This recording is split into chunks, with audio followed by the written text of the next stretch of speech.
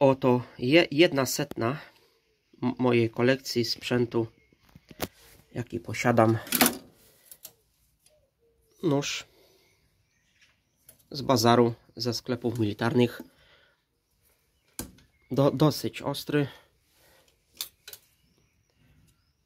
Nóż gangsterski, znany z, z różnych filmów. Stiletto, tak się nazywa, dość ostry.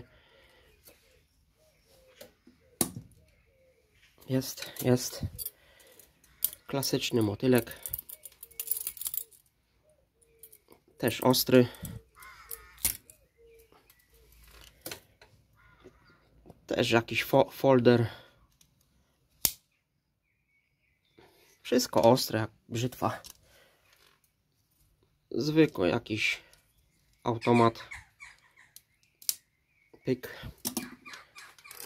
Jak mówiłem, jedna setna. Mam tego dużo, dużo więcej. Tego sprzętu.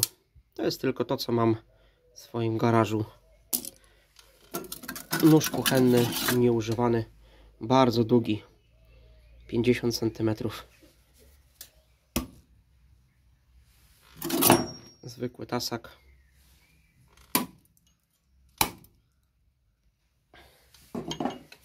Nóż do mięs. Taki typ, typowy nóż. Siekierka. Tomahawk. Ogólnie to miał oryginalną rączkę plastikową, około 100 zł. Kupiłem go 3 lata temu. Ale rączka pękła, bo rzucałem tym tomahawkiem drzewa. Więc musiałem sam sobie do, dorobić z takiego płaskownika. I owinąłem sobie linką, żeby fajnie trzymało się. Maczeta.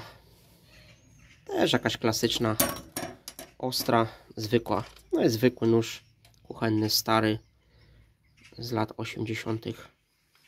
No i tyle w temacie.